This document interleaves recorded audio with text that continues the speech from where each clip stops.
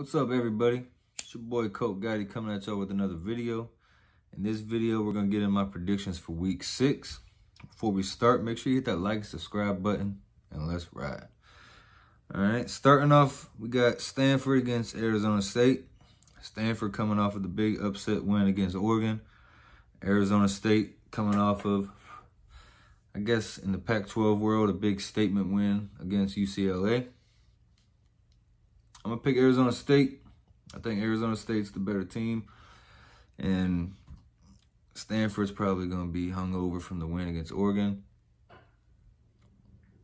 But I do expect it to be a fight. I don't think Arizona State's just gonna win it. They're gonna have to earn it. Then we got Maryland versus Ohio State. And everyone knows I've been high on Maryland all year. They let me down last week against Iowa. I got them losing this game to Ohio State. It could be a close one, but I think Ohio State is going to win it. Honestly, probably be a blowout, but Maryland's still a good team. Then we got Oklahoma versus Texas, Red River rivalry.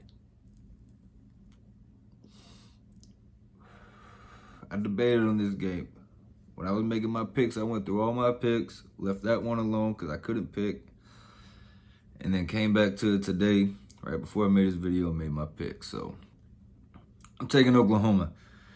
I wanted to take Texas because Oklahoma hasn't been looking good at all. I mean, Texas honestly hasn't been looking great either, but I think Oklahoma will get the recipe and uh, win the game. It'll probably be a close one though. Probably win it. I don't even think it'll be a shootout. I think it's gonna be an ugly game.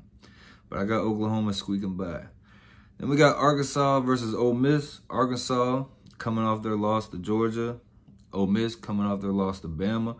Both teams came into those games last week with high hype. Both teams got their pride hurt. I'm picking Arkansas to win this game and bounce back. Get the win on Ole Miss, bounce back and get back on track and making uh, their run for the season. Then we got West Virginia against Baylor.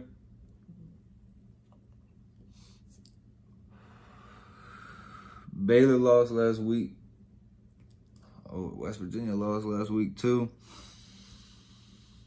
I was high on Baylor until last week. Last week they kind of killed all the uh, all the hype that I was giving them, and I really don't want to take them, but I'm taking West Virginia in this game. I feel like West Virginia get the win, bounce back off of their loss. Defense probably be a little too much for Baylor. I got West Virginia winning that. And we got Georgia versus Auburn. Georgia. Auburn's Georgia's bitch. That's that. There's nothing else to it. Bo Nix gonna be laying on his back all game long. And we got Penn State versus Iowa. Number three versus number four when I was first making my picks, I picked Penn State. But then I went back over it, thought about it.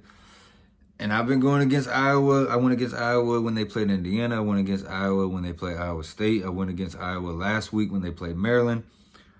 I'm taking Iowa. You know, I mean, knowing my luck, the time I finally fucking take them, they're going to end up losing. But I'm taking Iowa in this game. They made me a believer. Penn State's a good team, but haven't made me a believer yet. So I'm taking Iowa in this game. Then we got Notre Dame versus Virginia Tech. Notre Dame coming off the loss to Cincinnati, going into Blacksburg, looking to rebound. And I don't think they're going to do it. I got Virginia Tech. I think Virginia Tech is going to be at the house. The crowd's going to be in it.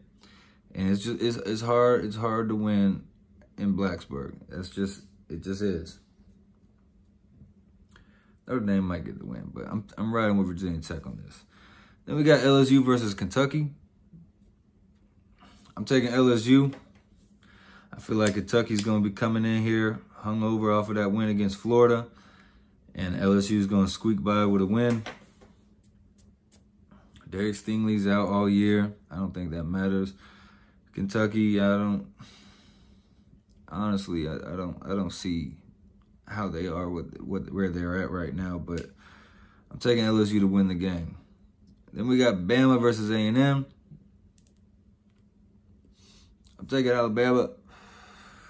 honestly, besides Georgia, I feel like Bama is the only other team in the country that's on on that top level. I feel like Georgia and Bama are the only elite status teams. Texas A&M is highly overrated. Coming into the season, they was highly overrated. And even now with Haynes King being out, since he's been out since fucking the Colorado game or whatever, they've been overrated the whole time. And they're just not, this is not that good of a team. Like everyone hypes them up to be as if it's fucking, I don't know. Jimbo Fisher, the teams they had the years with Kellen Mond, they just get all that hype for some reason, but they're not who they are. They're, they're really not, and Bama's going to shut them boys down. But that's my picks. Make sure you hit that like and subscribe button. I'll have the uh, results video out Sunday, Monday, after the games are played.